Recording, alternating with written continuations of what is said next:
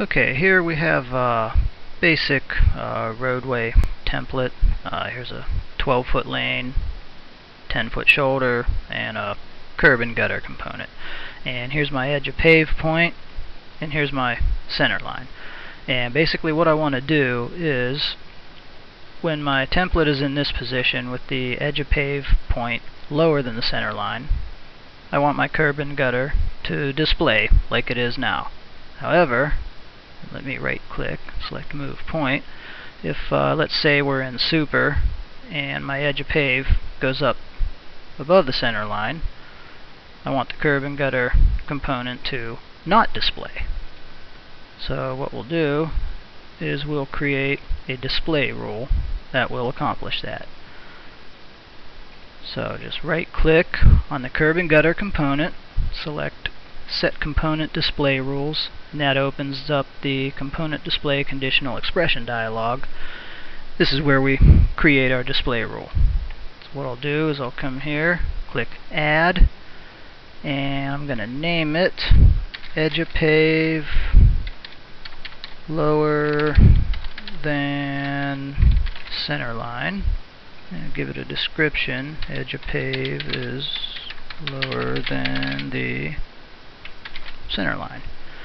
And the type, this will be a vertical control, and it will be between the center line, so that's good, we'll leave that, and the edge of pave. And I'm going to set this greater or equal to 0, and click OK. And what that means is that when you take the elevation of the center line minus the edge of pave, if it's greater and equal to greater or equal to 0, then the curb and gutter will display. So for example, if this is at elevation 100 minus, for example, 90, then you have a positive value and it's displayed.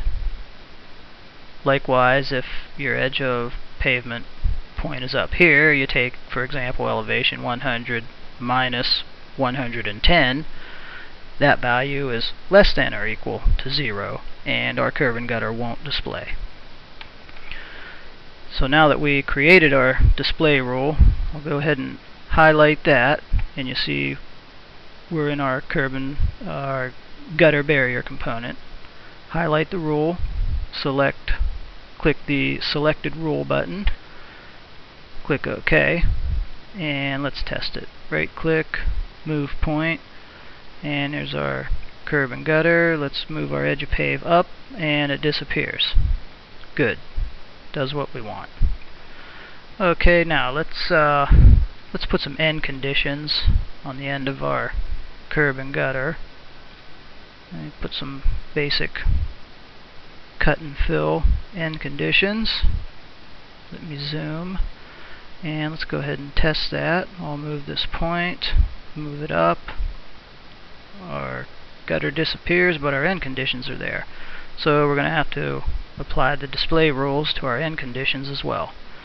So I'll click on this, go to set component display rules, select that, select our display rule that we just created, click selected rule, OK. Now let's test it and see how it works. And there it goes, it disappears. Okay, so we'll have to set the others as well. So I'll right click, set component display rules, or there's another way you can get through it. Just open up the edit component dialog and next to the display rules field click edit and that opens up this dialog. We'll go ahead add that one, click OK, click apply and close. Let's go ahead and test it, see what it does. Let's move our point up, and good. Okay, the next one, let's do it a little different way. I'm going to right click, set component display rules. I'm going to create one. I'm going to go to add, and I'm going to call this gutter is displayed. Uh, gutter is displayed. And I'm going to apply this. I'm going to call it component is displayed. And I'm going to apply this to our gutter barrier. And I'll click OK. And let me click OK. And I'm going to apply that to our fill 1 to 4 component set component display rules. Select that click selected rule click OK. And what that does is it just as long as your curb and gutter is displayed then this component will be displayed. If your curb and gutter is not displayed this component will not be displayed.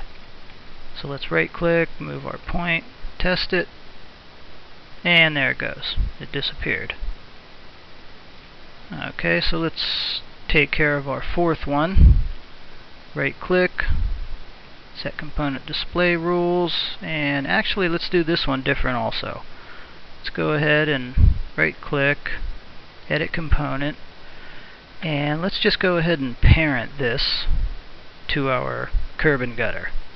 So let's select parent component, gutter barrier, apply, close, and let's test it. Let's move our point. And once our gutter barrier disappears, our end conditions disappear. Okay, well, if we're in super like this, then we need some end conditions that will display. So I'm going to drag my simple cut and fill end conditions over here. And make sure I right point. And what I'm going to do is I'm going to get rid of these two. Uh, delete component, delete component. And now I want to set these two to display when our curb and gutter is not displayed. Move this point. And you see right now they display all the time. So let me go to right click set component display rules and what I'm going to do is I'm going to select the button that says not and then I'm going to select this display rule click selected rule so this is not the edge of pave lower than center line. Click OK and let's move our point and you see when we're down when our gutter is displayed, our 2 to 1 component turned off. And there it is, it came back, now it disappears, and there it is. Okay, let's set this one. Yeah, we'll just set it the same way. Not edge of pave, selected rule, okay. Let's test it. Move point down, there they are. Disappear. There they are. Okay, let's, uh, I'm going to add a, a ditch component to this also. I'm going to drag my basic ditch in here and uh, we'll give it the same display rule as the other end conditions. Right click, set component display rules, not edge of pave lower, select rule, OK. Now let's right click and let's test it. And there we go. There's our curb and gutter with our end conditions and when our edge of pave point is above our center line, our curb and gutter disappears and we have our fill components here and our ditch with a berm there.